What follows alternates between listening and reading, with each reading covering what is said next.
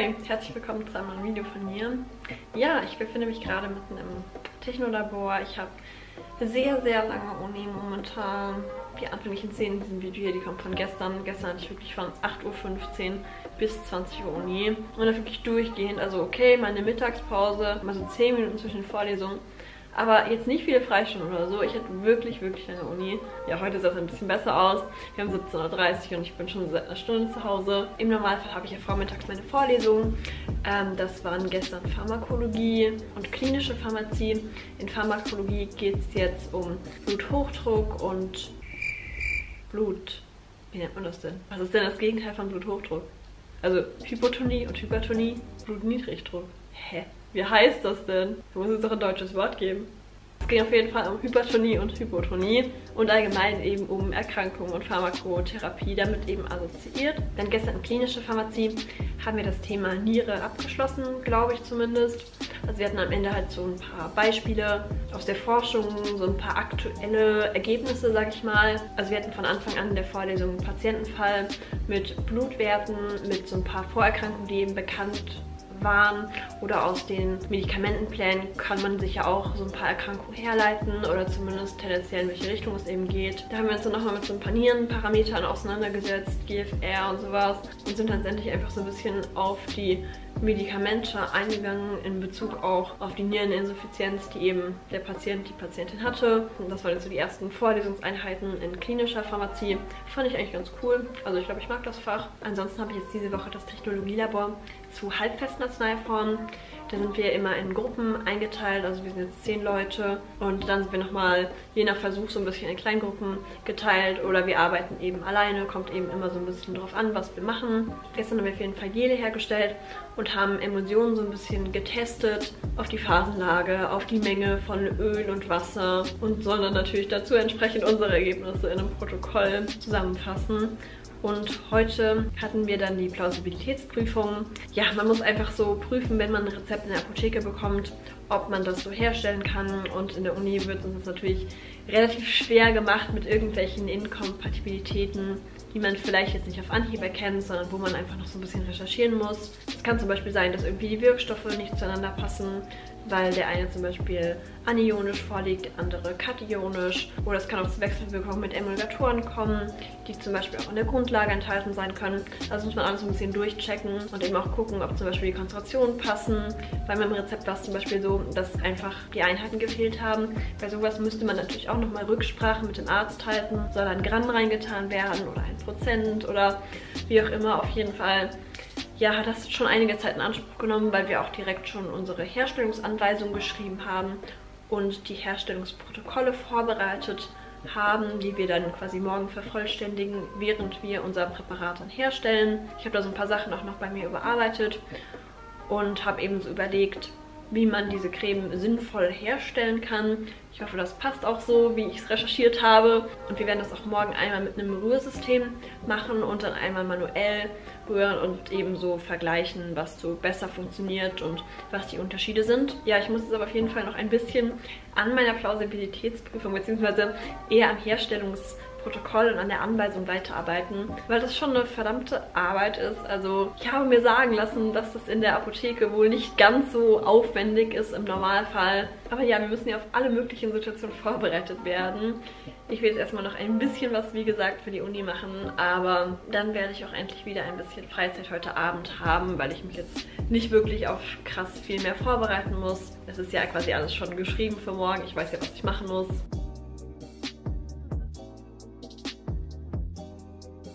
Hi, guten Morgen. Ich habe heute tatsächlich mal ausgeschlafen. Naja, zumindest habe ich ein bisschen länger geschlafen als sonst. Ähm, und gehe jetzt erst zum Labor um 11. Wir haben es nämlich vorverlegt auf 11 Uhr. Und ich hatte jetzt nicht so Lust, zur Chemievorlesung zu gehen und dann noch eine Stunde in der Uni zu chillen, dann ins Labor zu gehen. Also, ja, habe ich ein bisschen länger geschlafen. Auf jeden Fall habe ich gestern noch ein bisschen gebastelt. Ich habe nämlich dieses Armband hier gemacht. Das habe ich gestern echt nur verschlossen, weil das echt super lange gedauert hat mit diesen Blümchen da dran. Ja.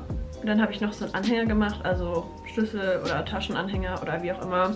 Also finde ich auf jeden Fall sehr, sehr süß. Und die beiden Sachen habe ich für meine Freundin gemacht, die jetzt nämlich wegzieht. Und wir sehen uns heute das letzte Mal. Also wir sind jetzt zum Kino verabredet. Und deswegen dachte ich, mache ich so ein kleines Abschiedsgeschenk. Ja, ich bin auch sehr froh, dass ich das noch geschafft habe, neben Uni und allem anderen, was ich noch so zu tun hatte. Aber zum Glück ist diese Woche jetzt nicht so vorbereitungsintensiv wie letzte Woche, weil da musste ich ja wirklich jeden Abend nochmal lernen und mich auf den nächsten Tag vorbereiten damit ich das Antestat halt so mitverfolgen kann und halt auch Sachen beitragen kann, weil es halt wirklich auch ein komplett neues Thema war letzte Woche. Ich gucke jetzt gleich erstmal über mein Video drüber, was heute Abend online kommen soll.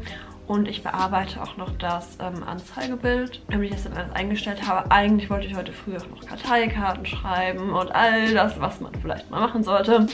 Aber naja, Schlaf war dann doch ein bisschen besser irgendwie. Labor angekommen habe ich dann meine Creme hergestellt und zwar zweimal. Einmal ganz normal in der Fanta-Schale, das sah dann so aus. Und dann sollten wir nochmal die gleiche Creme in einem, in Anführungszeichen, automatischen Rührsystem herstellen. Meine Gruppe musste das mit diesem Gerät hier machen. Man hat dann einfach die ganzen Bestandteile in einen Mischbeutel eingewogen und das dann einfach mehrmals gewalzt, sodass man eine homogene Wurst erhält. Und das wird dann eben direkt im Mischbeutel in eine Tube gegeben. Oh mein Gott, Labor hat wirklich so lange gedauert. Also es ist jetzt 17.30 Uhr und wir sind seit um 11 Uhr im Labor. Wir haben keine Mittagspause gemacht. Ich weiß nicht, mein Wirkstoff ließ sich halt nicht ganz so gut einarbeiten, beziehungsweise der eine Hilfsstoff. Und dann hat das alles ein bisschen länger gedauert mit der Creme. Und jetzt weiß ich halt ehrlich gesagt auch nicht so ganz, äh, ob die Creme richtig hergestellt ist und so. Also ich meine, sie sieht schon ganz gut aus, relativ homogen und so, aber man weiß ja letztendlich trotzdem nicht ich habe den pH-Wert gemessen, bzw. eingestellt. Das hat an sich alles gepasst und so. Also ja, es kann halt gut sein, dass irgendein Fehler, ein richtig, richtig dummer Fehler im Protokoll ist. Also irgendwie eine Einlage falsch aufgeschrieben oder so. Das, muss ja, das reicht ja schon. Und man fällt durch und muss das alles nochmal machen.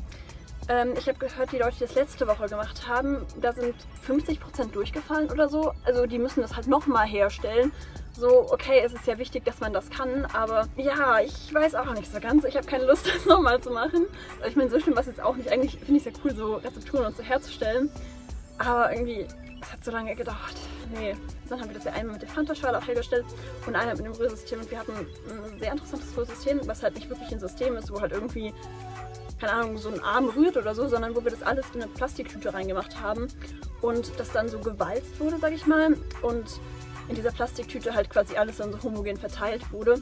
Ist an sich tatsächlich bei mir ganz gut gelaufen, bei den anderen so semi-gut. Also ich hatte halt eine relativ flüssige Creme und dann ja, ging das halt eigentlich. Ich bin auf jeden Fall schon super, super spät dran, weil eigentlich in 10 Minuten der Kinofilm beginnt, zu dem ich mit meiner Freundin gehen möchte. Aber stattdessen sitze ich hier mit meinem Handy und rede.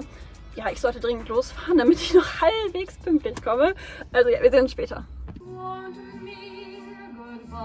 Ich habe mir Essen geholt. Ist ja nicht so, als hätte ich heute schon super viel für Popcorn und für den Film allein ausgegeben. Nein, ich gönne mir jetzt auch noch eine Bowl.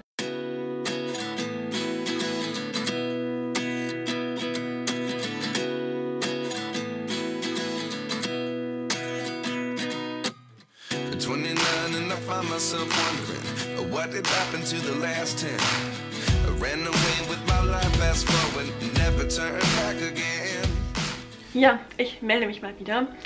Gestern war ein sehr vorlesungsintensiver Tag mal wieder, wie jeden Donnerstag. Ich habe aber die Möglichkeit genutzt, online zuzuhören. Also ich hatte pharmazeutische Biologie online und pharmazeutisch-medizinische Chemie, wobei ich während pharmazeutisch-medizinische Chemie eine halbe Stunde geschlafen habe. Dann bin ich in die Uni gegangen und war dann bei der Vorlesung zu pharmazeutischer Technologie und nachmittags eben im Labor, wo wir so ein paar Qualitätsuntersuchungen gemacht haben zu unseren hergestellten Cremes, aber auch zu den Gelen, die wir am ersten Tag hergestellt haben und zu der Emulsion, zu den Suspensionen. Da hatte jede Gruppe so ein bisschen ihre eigene Aufgabe. Und dann habe ich mich gestern und heute Vormittag noch ein bisschen auf heute vorbereitet. Denn heute müssen wir nicht mehr ins Labor, sondern haben noch so eine Abschlussbesprechung, wo auch nochmal so ein paar Themen abgefragt werden, ob wir das so halbwegs verstanden haben. Ja, heute früh habe ich mir noch online die Technologievorlesung angehört und nach dieser Vorbesprechung heute Nachmittag ist endlich Wochenende. Ich freue mich sehr. Vor allem auch, weil die nächsten zwei Wochen kein Labor sein wird für meine Gruppe. Zum jetzigen Zeitpunkt freue ich mich, aber in ein paar Wochen werde ich mich nicht mehr so darüber freuen, weil dann alle anderen Gruppen schon fertig sein werden mit dem Labor. Nur meine Gruppe noch im Labor rumsteht nachmittags. Vor allem in der Weihnachtszeit hätte ich mir vielleicht schon so eine freie Woche mal erwünscht, aber ist okay. Jetzt habe ich eben zwei freie Wochen hintereinander, wo ich nur meine Vorlesung habe. Das nimmt aber jetzt natürlich auch ein bisschen den Stress für das Protokoll für diese Woche raus. Und ich kann mich allgemein einfach so ein bisschen langsam mal auf die nächsten Wochen vorbereiten, aber habe jetzt einfach nicht diesen Stress ich gehe jetzt auf jeden Fall in die Mensa und dann zu meinem Seminar oder Laborkolloquium oder wie auch immer man es nennen will. Und dann hoffe ich mal, das geht schnell vorbei, damit ich auch schnell wieder hier zu Hause bin. Ich muss nämlich noch ein paar Sachen vorbereiten, weil ich heute Abend ein Meeting habe und da eigentlich einen Quiz vorbereiten wollte. Das habe ich auch gestern gemacht, aber ich bin noch nicht so ganz zufrieden und muss nochmal so die Technik kontrollieren, ob das alles so aufgeht. Ja, und dann sehen wir uns auf jeden Fall später wieder. Hi, heute ist Samstag und ja, gestern ist auf jeden Fall nicht mehr so viel passiert, außer dass ich mich nachmittags noch ein bisschen aufs Sofa gechillt habe und an dem Quiz gearbeitet habe, was ich dann abends auf der Veranstaltung, auf der Online-Veranstaltung gespielt habe. War auf jeden Fall sehr cool und ist auch gut angekommen. Heute fahre ich auf jeden Fall endlich mal wieder zu meinen Eltern nach Thüringen. Ich war schon ziemlich lange nicht da, weil auch Uni und so und jetzt ist halt gerade eine ganz gute Möglichkeit, wenn man kein Labor hat und dann bleibe ich auch ein bisschen länger als jetzt nur übers Wochenende, weil die Fahrt schon immer relativ weit ist und für ein Wochenende nach Hause zu fahren lohnt sich halt eher nicht so. Also ja, verbringe ich jetzt ein paar schöne Tage in der Heimat und werde natürlich nebenbei auch immer ein bisschen was für die Uni machen und die Veranstaltung, die ich online besuchen kann, auch online mir anschauen. Ja, das war auf jeden Fall mein Video. Ich hoffe, wir sehen uns bald wieder bei meinem nächsten Video. Bis dahin, tschüss und bis bald.